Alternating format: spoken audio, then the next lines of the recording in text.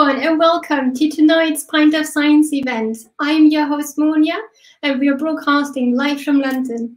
Because of this pandemic, we can't hold this event in one of London's great pubs, so we're bringing it home to you. Hopefully you still enjoy it with a very nice beverage, and it would be really great if you could share the drinks you are having or your favorite drinks in the comment section below, together with your location. We will get back to you during the break in the middle of the show. You can also post your comments on Twitter with the hashtag Behave21 right here. Today, we have two wonderful speakers for you, Mark Freestone and Margherita Malanchini, talking about their research and how it can impact our society, the theme of tonight's event. The aim is really to have a fun discussion like we would have in a real pub and get you guys, the audience, involved as much as possible so please, please leave lots of questions for the speakers in the comment section at any time, even in the middle of the talks. You're also very welcome to engage with each other there.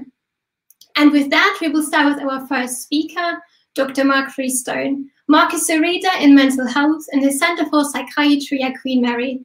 And alongside his very successful research career, he was also consultant to the first two series of the very famous TV show Killing Eve you might have watched that. And he just published his fantastic book, Making a Psychopath, which you can check out later. So please, everyone, leave lots of comments and questions as soon as they pop into your mind. Also, don't forget to let us know about your drinks and whereabouts. We'll put up your comments throughout this evening. But now, over to you, Mark. Enjoy, everyone. Hi, Monia. Thank you very much. Uh, it's lovely to be here. very excited to be at the first virtual Pint of Science. I've done the four of the last five years of Pint of Science, and I've been talking about lots of different things related to mental disorder. And and what I thought I'd do this year, um, which hopefully you'll all enjoy, is try and bring it all together. So the research I wanted to talk about today is some research that we've been doing over the last seven years now at Queen Mary that looks at what is the underlying link between violence and mental disorder the title of our theme today is, is Please Behave, which is all very well, but um, asking people to behave, particularly if they struggle to, to be oriented in time and place, is a bit of a big, uh, it's, it's a big ask of people. And, and, and one of the things that the Ministry of Justice and the National Health Service have been trying to do is try to implement interventions that make a difference in people's lives that, that can help them desist from violence and trying particularly to understand how we can help people who have a mental disorder, first of all to desist from being violent towards other people, but also to try and prevent them becoming victims of violence themselves. Because as I'm going to talk about later in the chat, um, that is uh, a, a big issue as well. So the, the, the, I suppose the inspiration for this idea came from um, a quote from a former Prime Minister Tony Blair, and he said when his government was first elected, or before his government was first elected, actually, that they were going to be tough on crime and tough on the causes of crime. Sounds great, yeah, wonderful soundbite. Um, what a great ambition, but nobody's really very clear on what the causes of crime are.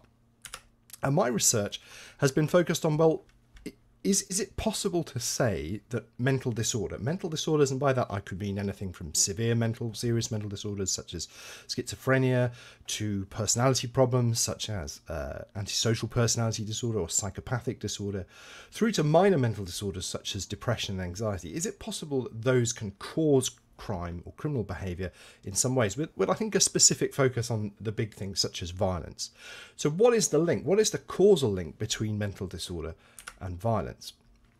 Now, the idea that there might be a link, I think, comes largely from research that we've conducted in prisons in, in the UK, specifically in England and Wales. We all know that our prisons are very overcrowded, and, and what overcrowding does, particularly in prisons, is it highlights problems with uh, the prevalence of mental disorder within the prison population. Uh, the Bradley report, which was a report commissioned by the government in 2009 into the prevalence of mental disorder in prisons, found up to 80% of people in prisons may have uh, a, a, diagnosis of mental disorder, which is a pretty staggering proportion. So that means that on, it's more likely than not that someone in prison will have uh, a mental disorder of some sort. And we know that that could range from maybe a more common mental disorder such as depression all the way through to uh, a psychotic illness such as uh, schizophrenia that we would classify as a severe mental disorder.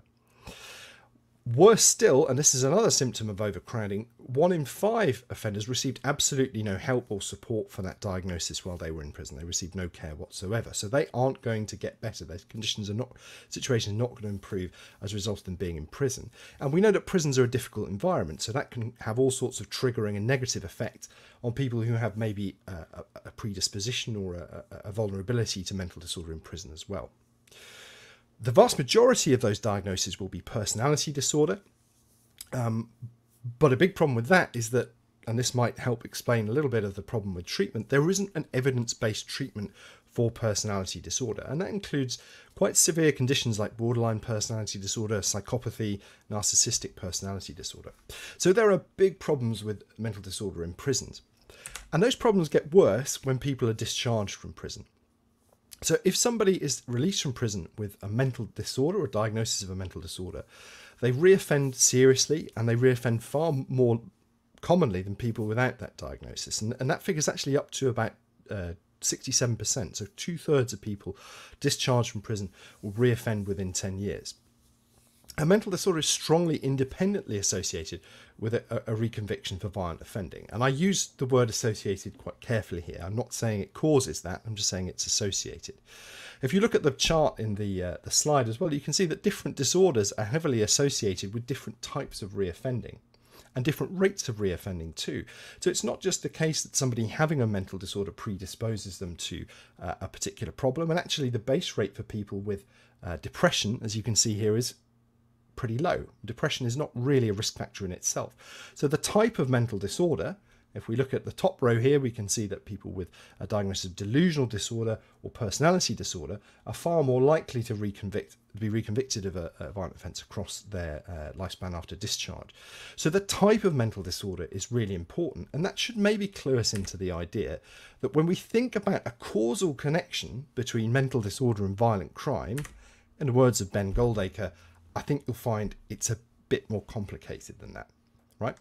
So what I'm going to do today is, is sort of investigate some of the reasons why it might be so complicated and whether there's anything we can do to try and understand that complexity.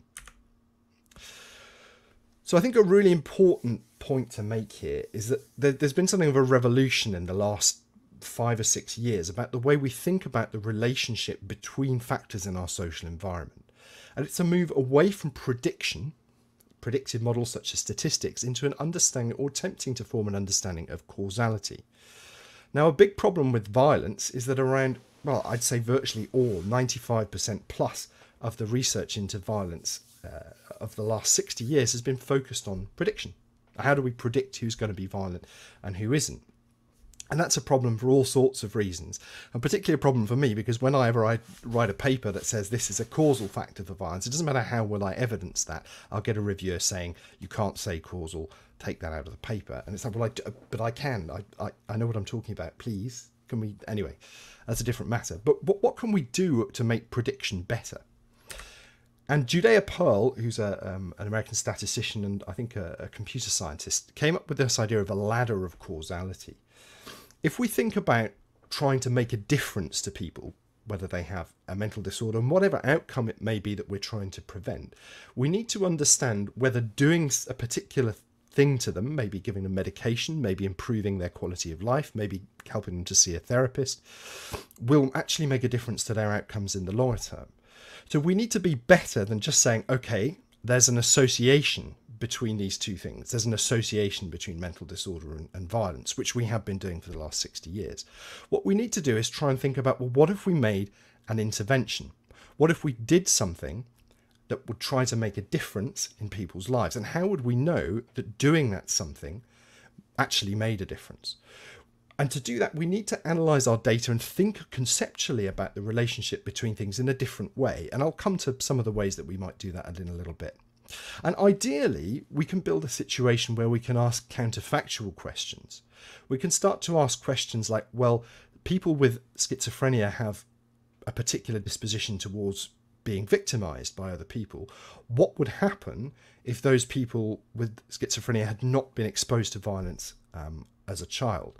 And then maybe the intervention becomes not about doing something to people who already have a diagnosis, but focusing on trying to prevent people being exposed to violence at a young age. So answering questions that aren't necessarily inherent within the data that we're collecting, uh, the counterfactual reasoning, and we can only really be sure that we can we're asking causal questions once we can make counterfactual assertions uh, from the data that we have. Okay, so what have we done so far about causality? How can we start to build this link between mental disorder and violence?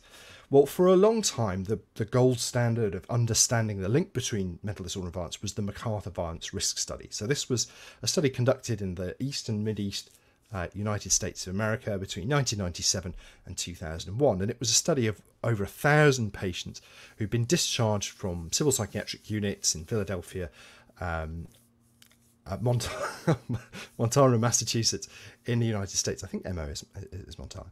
And they were all followed up for a good period of time, so 10 weeks, and they made triangulated searches for any instances of violence, which means they asked the patients, you know, were you violent? But they also asked their clinicians and they checked the medical records to see if they'd done anything violent during that period of time.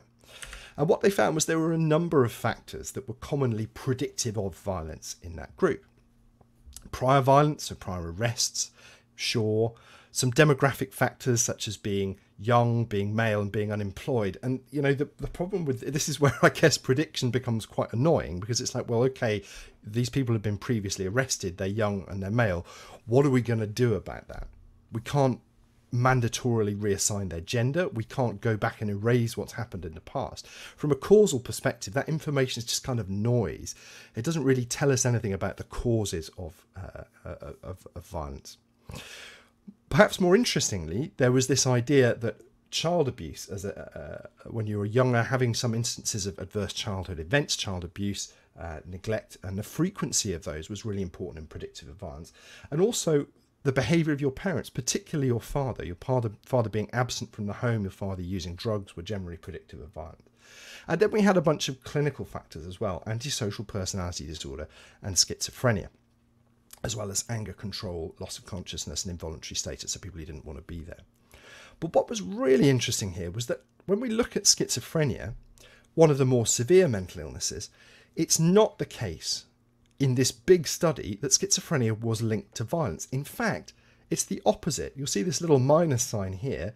It says schizophrenia is actually negatively linked to violence. It's almost a protective factor. People with a diagnosis of schizophrenia were less likely to be violent, thus completely undermining all the purpose of my talk. And I could just sort of drop my mic and, and walk off at this point. That would be uh, quite dramatic. But I'm not going to do that. I'm not going to do that because we're getting into a really important point here. In the MacArthur Violence Risk Study, all of the patients had been treated and discharged from hospital. So they weren't people who just become schizophrenics, they hadn't just become psychotic. They'd had some kind of treatment and then been discharged. So when we say it's more complicated than there's a link between these two things, a causal link, uh, you're darn tootin', as my friend John Monahan would say. You know, there's absolutely a more complicated link than that. Another study that really informed our work was a much bigger piece of, of work done with 30,000 adults in the USA who'd had problems with drugs or uh, alcohol in the past five years. And this was a study by Elbogen and Johnson, uh, also done in, uh, in North America. And they found that independently, severe mental illness, and that's listed in column A here and also present in these other columns with an A in them, so uh, column A and B, A, B, and C, wasn't actually predictive of, of uh, an increased risk of violence. But when you combine mental illness with substance misuse, so that's column A and C here. Oh, sorry. when you combine, uh, yeah, yeah, with uh, with A and B, so that's this column here, it increased the risk. So people with schizophrenia who use drugs were also more likely to commit violence. And when you combine that with a history of previous violence, then the odds became much, much, much higher. So it doesn't seem in the Elbogen and Johnson paper to be the case that mental disorder on its own causes violence. There's something more complex about the relationship between having a mental disorder, how you cope with that disorder, i.e., for example, using drugs, and whether you have any previous exposure to or previous practice of violence in your life. Makes sense so far, I think, uh, and also consolidates a lot of the learning. But whenever you have a big paper like this, and this is one of the most heavily cited papers in forensic psychology and psychiatry, uh, of the last uh, uh, 10, 12 years, somebody's always going to come along and say, well, that's one way of looking at it, but there are others. So, although Elbogen and Johnson suggested that the link between mental disorder and violence may actually be moderated or changed in some way by substance misuse. So, in other words, you need to be using substances in order to be violent. Another research team at the University of South Florida, uh, led by Richard Van Dorn, came along and said, okay, well, first of all, the way that you've conceptualized uh, the link between mental disorder and violence is wrong. Because Elbogen and Johnson looked at lifetime diagnosis of mental disorder and any instances of violent behaviour. So, what they didn't do, which you should do if you're trying to establish a causal model, was check to see whether the mental disorder diagnosis preceded the violent incident. And when you did that change, that really important change to make things more causal in the model, they actually found that there was a link between mental disorder and uh, uh, violent offending. And in fact, people with um, a severe mental illness had an elevated risk of violence compared to people without a mental disorder. But what they also found was that link was moderated to a very high degree to whether or not those people had what we call triggering events in their lives. So, if they were under a particular degree of stress or difficulties at the time, or recently, any time in the last year, they've been exposed to an adverse event, that radically increased by a factor of about three the likelihood of people with a mental disorder being violent. Of course, then when you add back in substance misuse, then you get to these columns at the end here and again they found you know substance misuse and mental disorder were very predictive of violence but it seemed to be the case that the most important thing in terms of the causal onset of violence in this group of 30,000 people was the presence of an adverse event. So stress seemed to be the thing that pushed people into committing acts of violence rather than just being mentally unwell or using substances in themselves so if we update the model now, we sort of have this link where, okay, childhood events, yeah, they're important because they affect the possibility of onset of mental disorder, and substance misuse also exacerbates the chances of you being violent. But all of this seems to be moderated by whether or not there's a sort of adverse event in the middle of all this. There has to be something that predisposes you to be violent in the moment. And you could think of this in terms of maybe somebody perhaps having problems at work, an argument with their partner, or perhaps somebody feels insulted in some way by something something said to them. That would trigger a violent event. So it's really important to think of these sort of static concepts like mental disorder and substance misuse in combination with a particular kind of adverse environment at, at a point and, and at a specific point of time that pushes people from simply being you know, I suppose in some risk category into actually being in a position to commit a violent crime. So one other way we thought about trying to break up what this specific link might be, the specific trigger is to think about, well, are there specific symptoms of mental disorder that might be responsible for controlling this really complex causal link between mental disorder and violence? So my colleagues, Robert Keers, Jeremy Coid and Simona Ullrich, looked at the MacArthur data. This is the data from the, the first research slide I showed, again, using the, the prevalence approach uh, by Van Dorn and colleagues. And they were able to replicate this finding again and again. And they were looking at the link between delusional symptoms. Delusions are a symptom of delusional disorder, but also uh, psychotic disorders such as uh, schizophrenia. And they found that there was a link between having delusions of being spied upon, what we might call paranoid delusions, and increased risk of violence. But what they did was, was something quite clever. They asked the, the, or they checked the, the research records to see if the people who were suffering from those delusions reported being angry in response to those delusions using something called the uh, uh, the the delusions uh, delusion scale, mixed anxiety and delusion scale, the MAD scale, and they found that. Uh, whether or not people were angry completely moderated that is it completely sorry it's completely mediated that is it completely changed the relationship between delusions and violence people who weren't made angry by their delusions weren't violent. There was no significant link between delusions in themselves and violence unless people were made angry about that.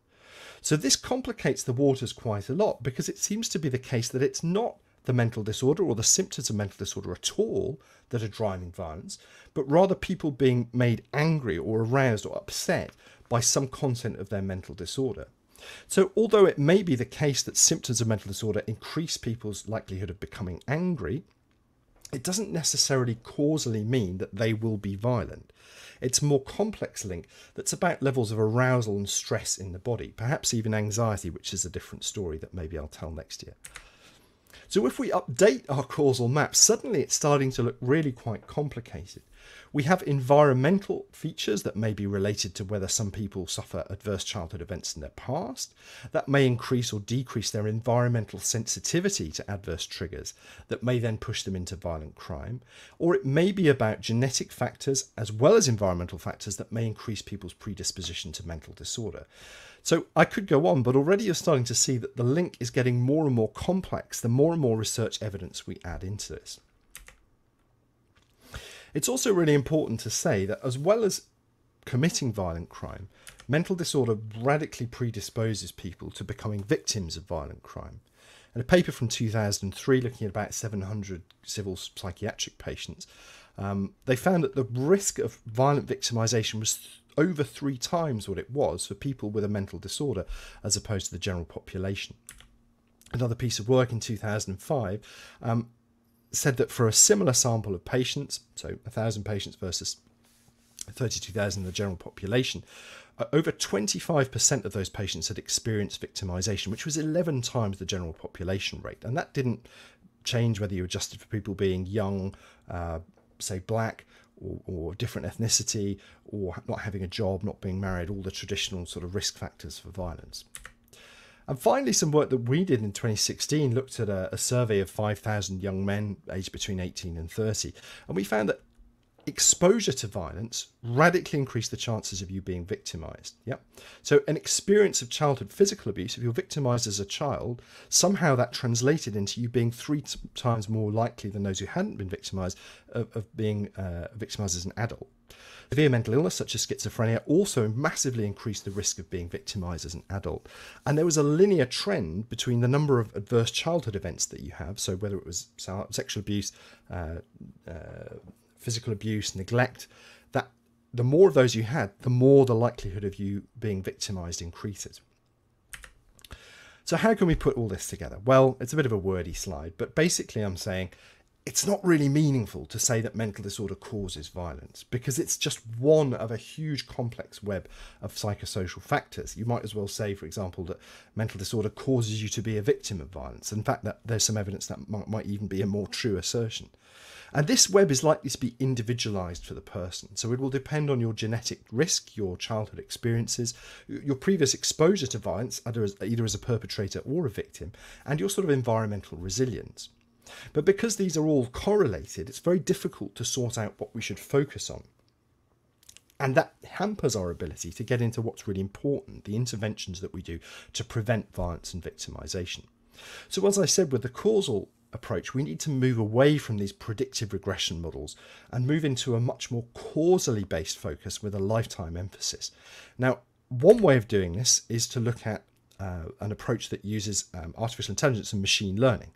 This is the approach we're working on at the moment. Um, this is a, from a paper in 2015 looking at risk factors for violence among discharged prisoners. Uh, this uses an approach called uh, Bayesian network analysis. So within this network, you'll see there's lots, you probably can't see them, but take my word for it. it's too complicated, that's the problem. There's lots of nodes relating to factors in people's lives, social isolation, previous victimization, genetic predisposition to risk, treatment, um, emotional affect, aggression, psychopathy, narcissistic personality disorder. And all of these within this model are individualized by patient. So what I can do is say, well, this patient has these particular risk factors. What do I need to change in order to reduce their risk of violence? So if I was a probation officer, I may well be able to do that and find that for this particular person, alcohol uh, abuse treatment and maybe psychotic antipsychotic medication were most important for them whereas for somebody else it might be uh, psychological treatments it might be treatment for anxiety it might be um, something relating to reducing their levels of drug use. So we can actually individualize, which I think is a really important causal step, the recommendations for treatment that we're making for an individual patient. So I've made it all very complicated for you and I can only apologize for that, but maybe that's the reality. So thank you very much for listening. Um, this talk is, is, dedicated to one of my former colleagues, Dr. Rob Keers, uh, who sadly uh, left us last year, uh, but was hugely influential on my thinking and it, it, was involved in writing a number of the papers that I've cited. Uh, and also some of this work was funded by the National Institute for Health Research under a, a grant improving um, a risk assessment in uh, mental health services in the UK. So thank you very much for listening. Uh, my Twitter link is already there, um, but I'm, I'm, sure that my colleagues at Punch Science are going to uh, share it as well. So thank you very much, and back to you, Monya. Thank you, Mark, for this really interesting presentation. I really enjoyed it. Thank you. For everyone in the audience, you can still leave your questions now if you haven't done so already. Also, don't forget to tell us about your drinks. Um, but back to you, Mark, now, and obviously the questions. And we have the first one coming through from Julia. Julia's asking, is there a bias regarding mental disorders and violence when looking at prisons? For example, are people with mental disorders more likely convicted by a jury or less able to defend themselves?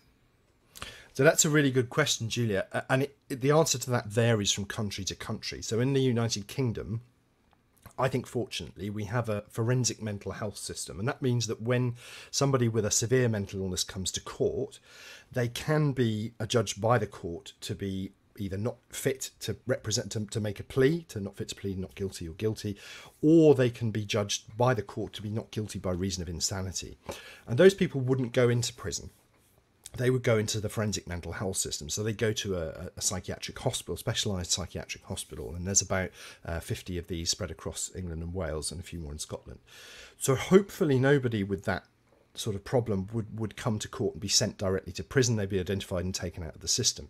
The people in prison tend to be either people who have a long standing personality disorder, so a problem that's been around since uh, they were very young, or they have a, a, a, a, mental disorder that develops within prison. So something like prison psychosis, or you know depression. The prisons are depressing places. I worked in one for three years. It depressed me at times. I'll be honest with you. So that kind of environment is not good for your mental health, and it can cause you to have all kinds of problems that emerge only when you're sent to prison.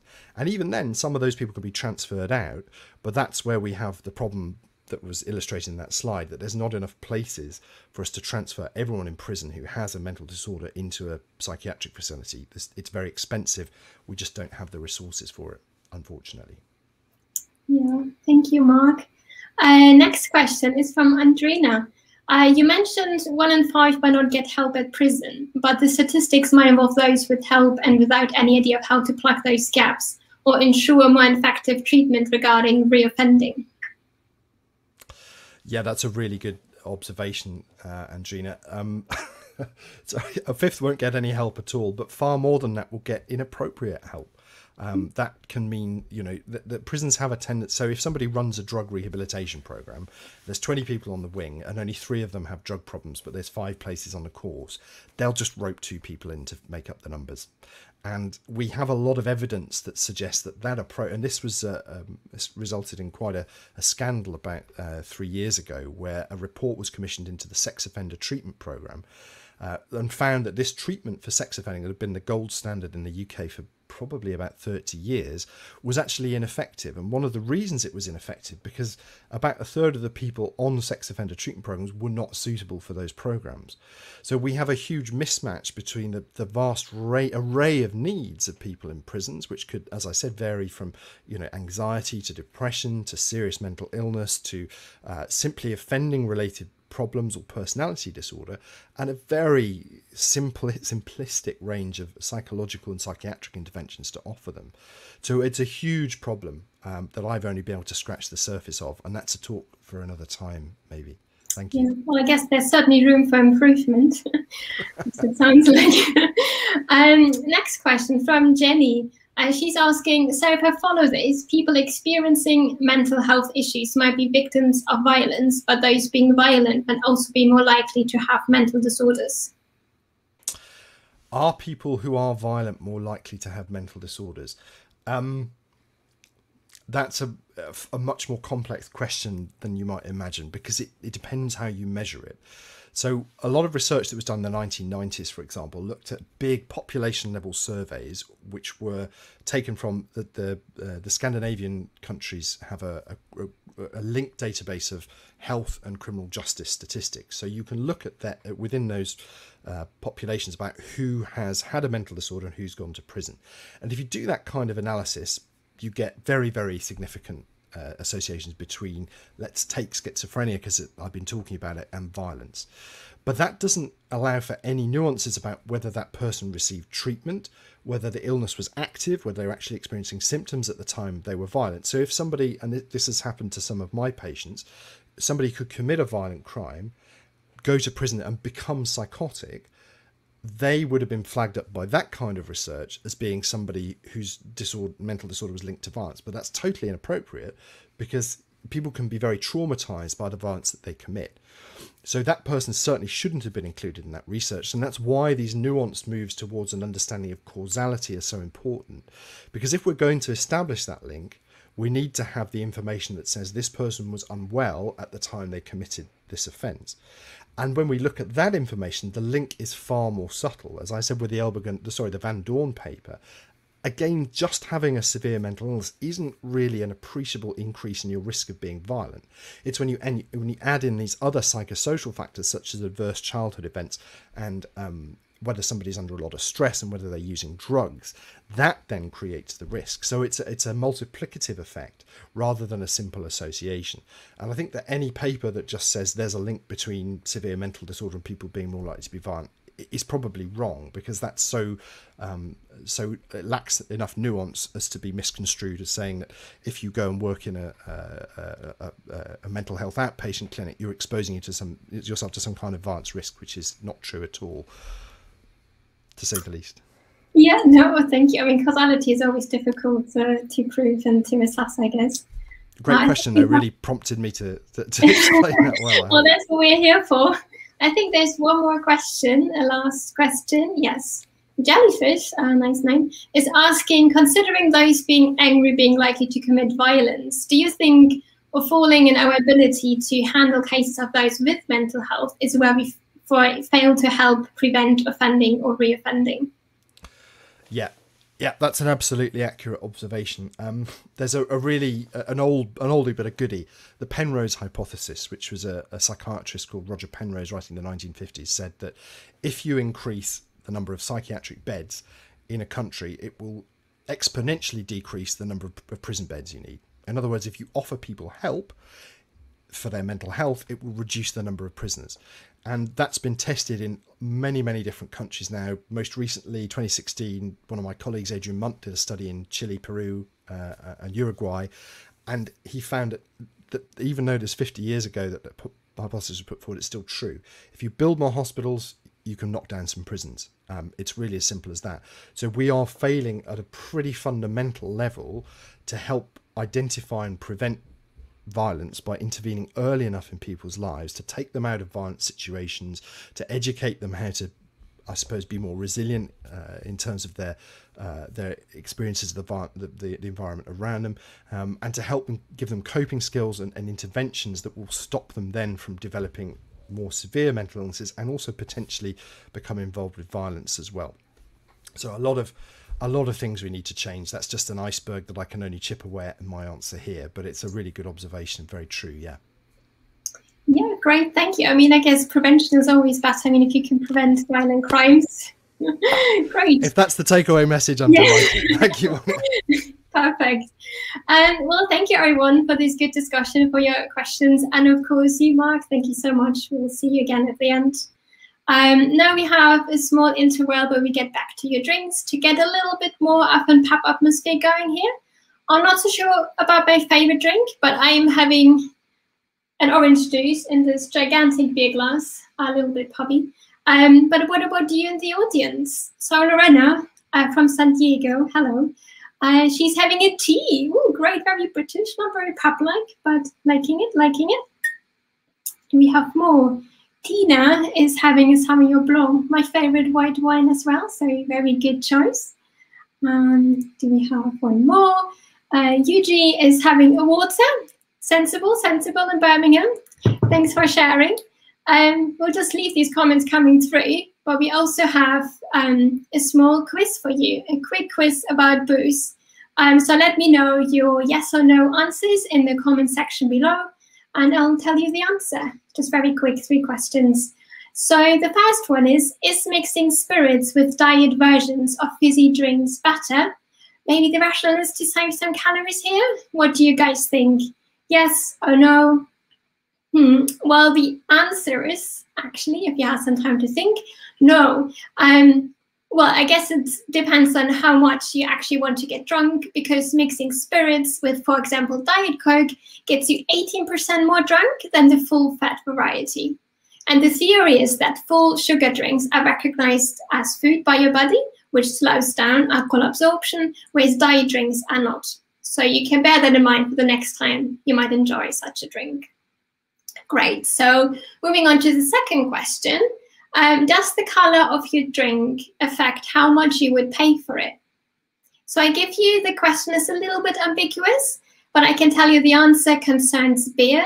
So think about the color of different beers and how that might affect you. What do you think? Yes or no? Um, yes, so the answer is yes, it actually does. Research suggests that consumers expect dark beers to be more expensive than pale or amber beers. Personally, I don't like either, so I couldn't tell you how accurate this is, um, but you can let me know in the comment section below. And then we have a final and third question. Is Britain the booziest place in the world? Hmm? What do you guys think? Again, just from the wording of the question, the answer is probably going to be no. Um, but what other country might it be? Maybe you can type that along with your answer in the comment section. Yes or no? The answer is, as expected, no. According to a World Health Organization study, that honor actually goes to South Korea. They apparently drink more hard spirits than anywhere else in the world, which did surprise me. Let me know whether it surprises you as well. I would have had some other countries on top of the list. Um, but yeah, great. Thank you, everyone. This was our small and short break. I know that we are all a bit refreshed. We will move on to our second speaker of the evening, Dr. Margherita Malanchini. Margherita is a lecturer in psychology at Queen Mary, and she is a first-time participant in Pint of Science. And she researches the complicated question as to why um, some people in our society do better at school than others. And as part of this, Margherita is the founder and director of Miles, which is a great and ongoing research project with over 2,000 Italian secondary school students. Again, I would ask you, the audience, please to leave lots of comments and questions. And now we move over to Margherita. There you are. Oh, hello. Hi. Enjoy, everyone. Can you all see my screen? We can see you. Yes, we can see your screen. It's just not in presentation mode yet. Perfect. Wonderful, thank you. So, yes, thank you so much for inviting me. This is my first pint of science, and I'm really excited to talk to you about educational success and specifically what matters for educational success beyond intelligence and why. So several factors contribute to explaining why students differ from each other in, in academic achievement. And these factors include the home, the school, the neighborhood environment, the prenatal environment they're exposed to, their healthy physical development, motivations, intelligence, for example. However, one source of differences between students that is very rarely considered in models of education is genetics. And today, I will present evidence for how genetic differences between people contribute to their observed differences in learning. So even when genetic factors are taken into account, which is rarely, it is often assumed that genetic factors would contribute to academic achievement through cognitive ability, which is also called intelligence, and uh, which at its core is the ability to plan, reason, and think abstractly. So it is often assumed that academic achievement is partly heritable, because cognitive ability is heritable. But here, I will present evidence for the contribution of genetic factors to academic achievement beyond intelligence. And I really will start to identify which are those factors that contribute to ge the genetics of academic achievement beyond intelligence. And finally, I will discuss how we can start thinking about a comprehensive evidence-based model of education that integrates these genetic discoveries. So evidence for how genetic differences between people contribute to their differences in behavior and psychological traits first emerged from family studies and specifically twin studies. So, twin research capitalizes on the genetic relatedness between identical twins who share 100% of their genes and fraternal twins who share on average 50% of the genes that differ between individuals, like any other pair of siblings. And by comparing how similar identical and fraternal twins are for a trait, it is possible to calculate the extent to which differences between people in that trait are due to genetic and environmental factors. And twin studies allow to identify three key influences. Genetics, or A, uh, called in our complicated ACE models, shared environmental influences, or C, which are the environmental factors that make children growing up in the same family more similar to one another, for example, shared parenting. And non shared environmental factors, or E, which are the environmental factors that don't contribute to similarity between siblings, such as, for example, different peer groups or different friendships. So, how heritable is academic achievement? And what I mean by that is to what extent do genetic differences between students contribute to their observed differences in academic achievement? In this twin study, conducted in a very large sample of twins from England and Wales, we found that academic achievement is substantially heritable, about 60%, at every stage of compulsory education, from age 7, so key stage 1, to age 16, measured at GCSE, as it's indicated by the red portion of these bars. Interestingly, in this study, we also found that academic achievement is highly stable over development. And we found that on average, 80% of this stability was explained by genetic factors. But this is not all that we found. Once we statistically removed intelligence from the equation, we found that academic achievement remains substantially heritable, stable, and its stability mostly accounted for by genetic factors which indicates that a substantial portion of differences between students in academic achievement and in its heritability is not explained by intelligence. And this is really not a new idea. And as in fact, as Dostoevsky famously wrote in Crime and Punishment, it takes something more than intelligence to act intelligently. However, what is this something more that makes us act intelligently? And we explored this question in this study conducted in another twin sample of children from Austin, Texas.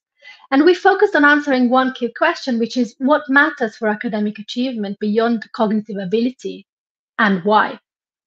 And here I will present results focusing on reading ability. So this bar chart shows the proportion of reading ability that is accounted for by genetic, or A, shared environmental, or C, and non-shared environmental factors, or E. And if we focus on the bar on the left, which indicates the extent of the genetic contribution to reading ability in childhood, first of all, we see the genetic factors explain about 75% of the differences between children in reading ability. So reading is substantially heritable. But so now let's focus on the red, purple, and blue portions of the bar.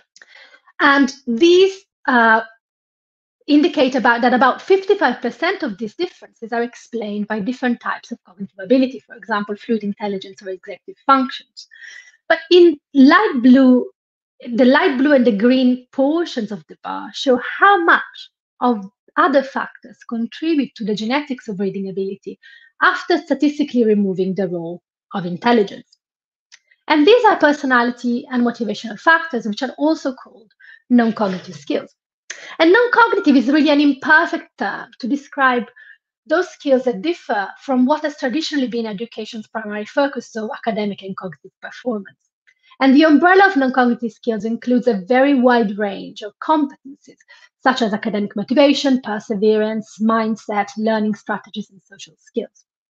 And here, we examined the role played by many non-cognitive skills. And we found that non-cognitive skills that we found that non-cognitive skills related to how open to experiences students are, for example, how interested, curious, confident, and, and creative students are, all matter for reading ability beyond intelligence. And in fact, these skills mattered more than diligence, perseverance, and conscientiousness, for example. And the fundamental part of this work was to explore why these non-cognitive skills were associated with reading ability. So do they relate to reading ability largely for genetic or environmental reasons? And we found strong genetic links between non-cognitive skills and academic achievement beyond intelligence. Therefore, non-cognitive skills such as interest, curiosity, self-confidence in learning all matter for academic achievement beyond intelligence, and partly because there is a shared genetic predisposition towards both academic achievement and non-cognitive However, twin studies don't really allow us to identify the specific molecular basis and to identify where in the DNA this genetic predisposition lies. And in order to uh, identify specific genes, we need to conduct gene discovery studies called genome wide association studies or GWAS. And GWAS aim to uncover how differences between individuals at several places in the DNA relate to differences in their traits from height, for example, to personality to cognitive ability. And these places in the DNA are called single nucleotide polymorphisms or SNPs. And one of the largest and most successful gene discovery studies in the behavioral sciences looked at educational attainment and uncovered over 1,200 places in the DNA called SNPs that are significantly associated with how far people go in education. And uh, all the SNPs uncovered by the study are shown here in this figure, um, in the figure shown here on the right, which shows the chromosomes on the horizontal axis and on the vertical axis, how significant each association is. And all the dots above the black dotted line are the loci, so the places in the DNA that are associated with variation in educational attainment after accounting for hundreds of thousands of tests. So the take home message here is that there is not one or a few genetic variants associated with how far people go in education, but it is many genes, so each of very small effect. So, given our previous findings on how genetic differences between people matter for non cognitive skills uh, and for how these relate to academic achievement, we really wanted to conduct gene a gene discovery study and pinpoint the genetic variants associated with differences between individuals in non cognitive skills.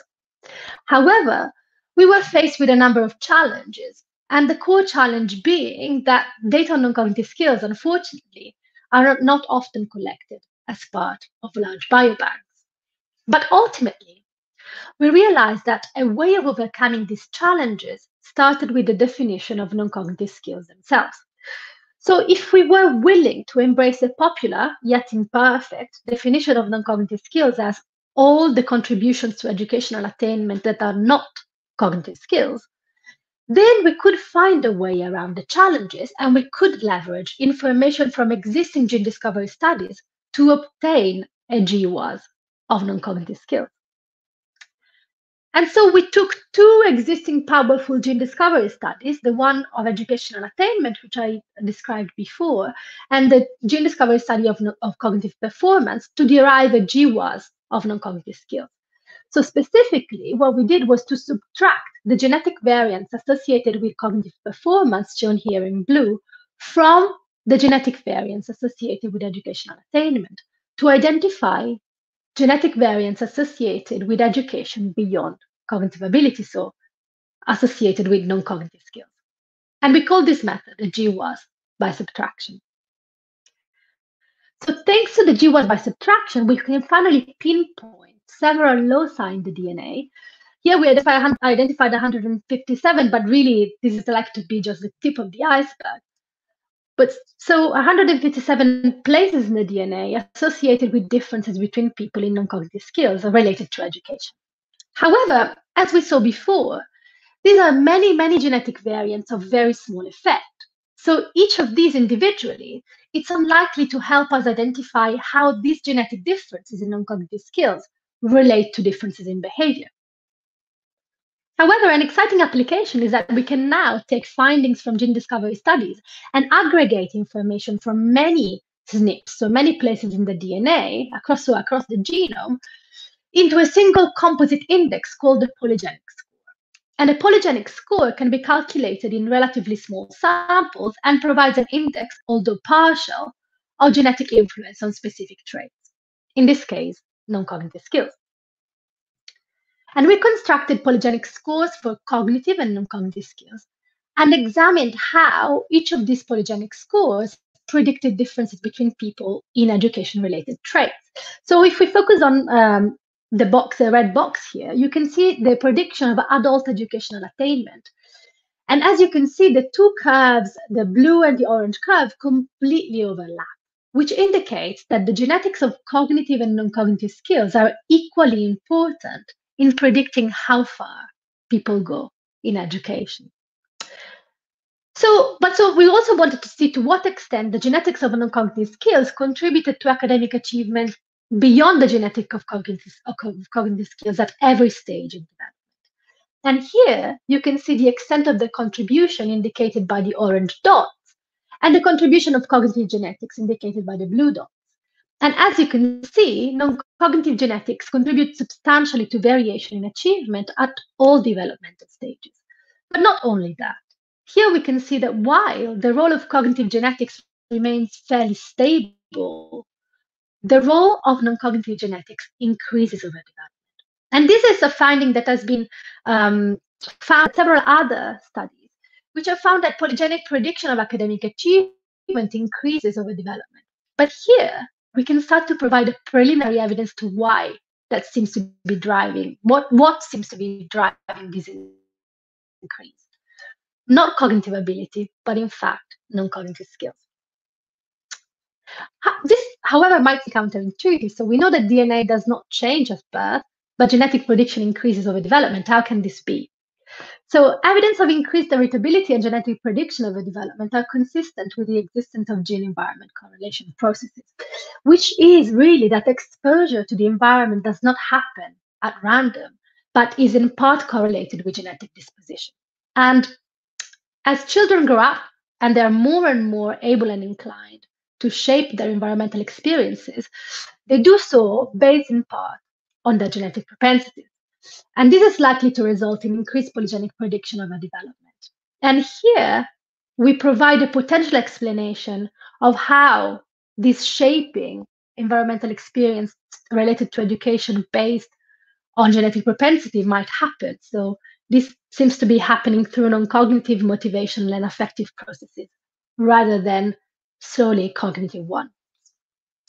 So research overall points to the great benefits that come from considering both cognitive and non-cognitive skills in conjunction in order to predict life outcomes such as educational and professional success. However, in addition, of course, to being partly rooted in genetic variation, these associations are also shaped by the social context and uh, the environment, of course, and by a complex interplay between genes and environment. So students are likely to actively seek out and receive enriched environments, partly based on genetic influences. And I think that our educational system and practice should be more sensitive to this complex interplay between genetic and environmental factors. So to answer the burning question for tonight, what matters for educational success and why? So we now have ample evidence to show that academic achievement is substantially heritable and stable beyond intelligence, and that non cognitive skills such as openness to new experiences, curiosity, confidence in one's learning, creativity all matter, and in part they do so via genetic mechanisms. So we can now pinpoint many loci in the DNA that are associated with differences between people in non cognitive skills, each of very small effect. And non-cognitive genet genetics matter for achievement throughout compulsory education, and really their role becomes increasingly important over development, which likely reflects the complex interplay and the complex correlation between genes and environmental influences. And these genetic discoveries are really a first step to provide uh, a platform to investigate biological and environmental mechanisms. So I would argue that it is time to integrate non cognitive skills in educational practice, shifting the focus away from the current solely performance oriented culture towards a broader, holistic conceptualization of children and adolescents as learners. And I would also argue that a successful integration of non cognitive skills in, into educational practice would consider both genetic and environmental factors and the complex interplay. And with this, of course, I have many uh, people to thank, particularly my wonderful mentors and all my collaborators, co-authors and colleagues and students. And of course, I'd like to thank you very much for your attention. Thank you, Margherita. Um, and this is the last chance for you guys in the audience to leave some comments so, or questions, so please do so. Uh, but Margherita, thank you. That was such a great talk. There's so many different aspects of shaping academic success.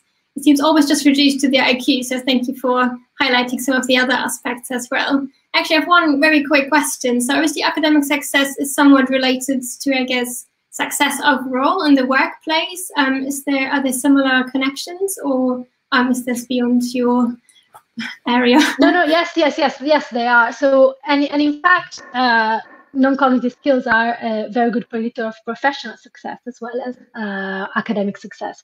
And of course, academic success is related to professional success. So, you know, how well you do in school is a very good indicator of how well you might do professionally.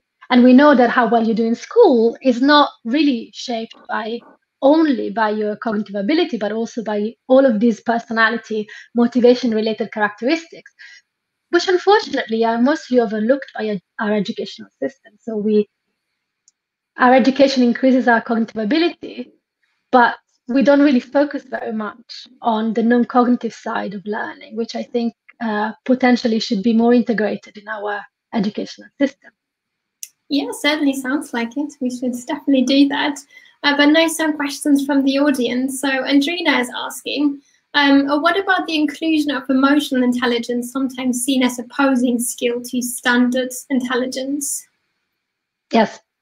So absolutely. So and and this is really why non-cognitive skills is a very imperfect term. So it seems uh, uh, like a casual uh, phrase, but it really is a big umbrella term that includes several um, several skills, and one of these is uh, social skills. So, I I think is closely related to emotional intelligence. But absolutely, I think that that's incredibly important to um, to highlight, and, and and it would be incredibly important to really start thinking about how we can integrate these in the curriculum. So how we can teach these skills as well as teaching all the cognitive and, and academically and knowledge oriented uh, skills.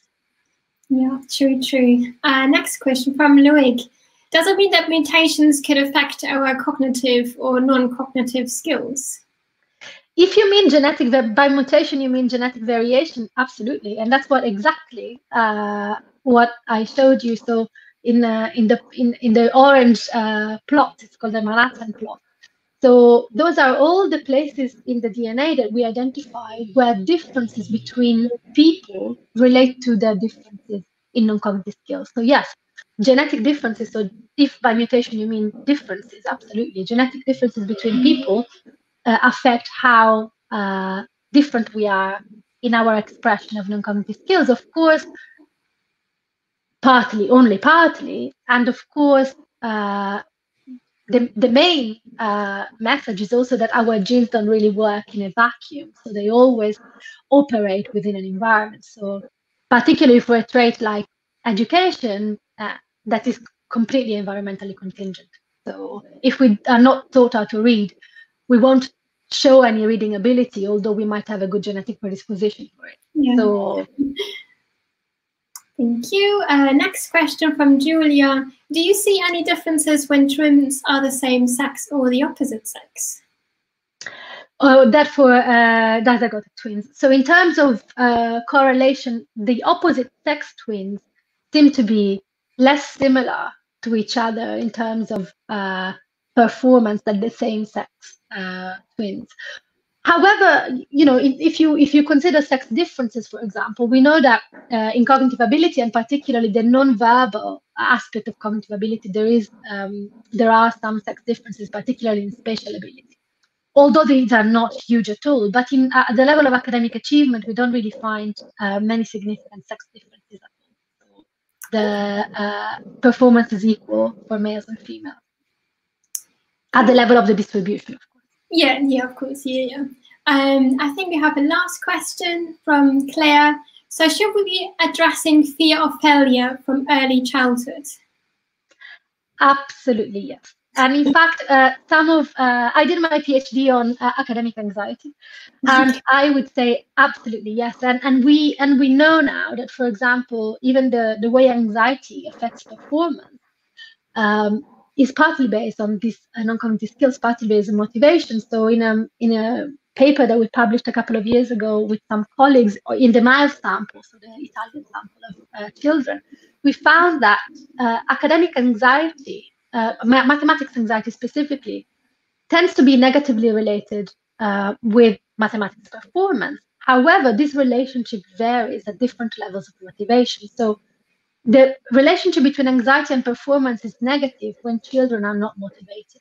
But when children are highly motivated, the relationship between anxiety and achievement actually is positive. and these children are and, and this seems to be happening through how much time these more anxious children spend in learning mathematics so absolutely we really should be addressing fear of failure from early on and particularly in this highly test oriented culture that seems to be taking taking away a bit the joy of learning from the classroom and uh, quite like I, I, mean making seems to be making children quite fearful of the outcome more than joyful about learning. So I think that you know tests are incredibly helpful, but potentially too high stake in this country.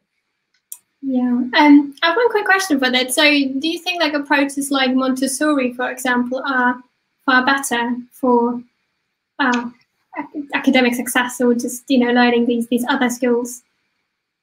actually, uh, you know, for every parent uh, chooses uh, the best for their children, right? And so I think that, uh, you know, uh, it's uh, a lot of parents do choose this, you know, to follow a, one or another approach.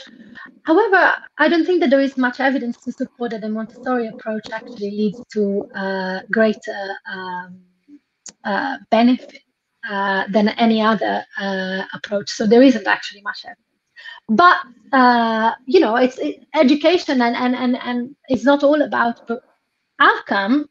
It's also about the journey. It's about how you feel uh, while learning, and and if that's the the right uh, process towards which you enjoy learning, absolutely great although there isn't plenty of evidence to, to show that that leads to a, a, greater performance. But as I said, performance is only one indicator uh, of an educational experience. For sure. Thank you, Margherita, uh, for your talk and obviously facilitating this discussion. And with Thank that, you, Mar. You're welcome. Um, and with that, our Pint of Science night draws to an end. Again, I would like to thank and applause our fantastic speakers. I don't know whether Mark is going to come. Yeah, there you are. Thank you, Mark and Margherita. Um, but obviously also everyone else involved, the entire team, and you, the audience, for taking part and asking questions. Uh, there might still be some unanswered questions, and I'm really sorry we couldn't get to all of them. Uh, but kindly, the speakers have agreed to answer any questions that you might still have on their Twitter accounts, which is below here, um, so please just post or repost your question there and you'll get an answer. And um, I've just seen some numbers. We had around 80 viewers today, which is absolutely amazing. I hope everyone enjoyed this night and maybe learned a thing or two that you didn't know already. Um, there's a feedback form created uh, by Pint of Science down below in the description. When you fill that out, you also enter a prize draw. So maybe you'll actually get something out of this uh, more than just knowledge. Um, but with that, uh, goodbye, everyone. Have a really nice evening. Maybe see you again next year, hopefully in a real pub. All the best from the entire QML Pint of Science team. And yeah, cheers.